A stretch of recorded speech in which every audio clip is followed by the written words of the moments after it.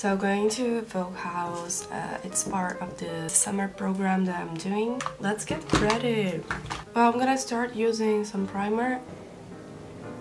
I managed to get sick here in London on summer.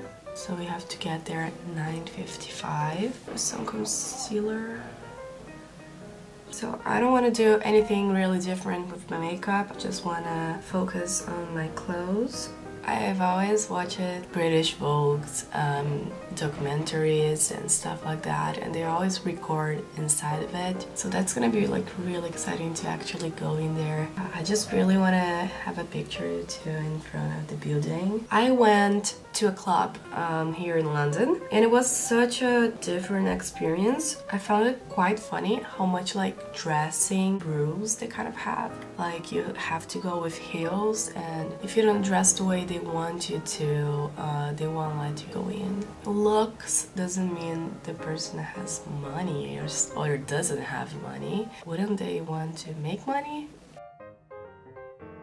So as I already shared here, I really do want to study abroad, transfer my college to one of the universities here. And I went to visit one yesterday, so that was fun. I had to take a train in the King's Cross station, so that was really nice. It was really my Harry Potter dream. I'm not joking, J.K. Rowling, she owns the city. It's crazy. Like, sometimes I'm just walking and there's like nothing related to Harry Potter, but there is this store. I'm just in shock because obviously when you come to London, when you come to England, you kind of have the Harry Potter feeling, but I didn't know like she owned the city.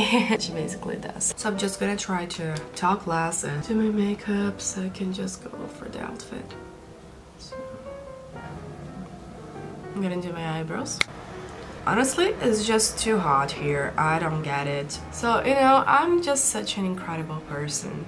I managed to get a cold on summer and uh, at the same time I managed to get a little burn.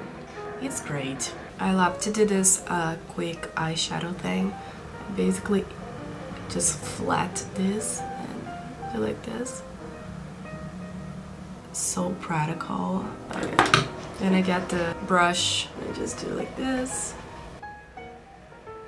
Missing like a whole weekend kind of sucked. Because I didn't even want to do like all this stuff on the weekend. Like I just wanted to do like simple things you know like go to church and sit in a park and just enjoy the weather. But I couldn't even do that. Like I was so sick.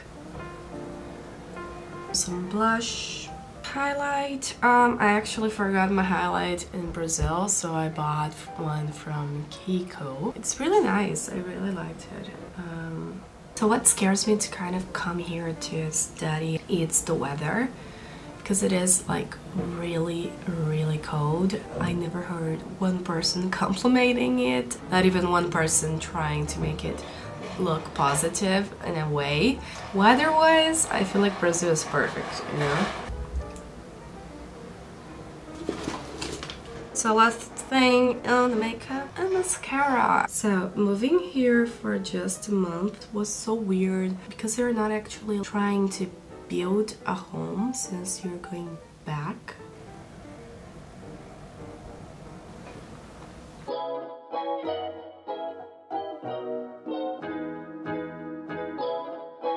So I'm just gonna show you guys my outfit and I have to go. Don't mind the freaking mess in my background. So basically I just put in my hair like this because I always sweat when I'm taking the tube. Um, like with some earrings and a little dress. These are the shoes.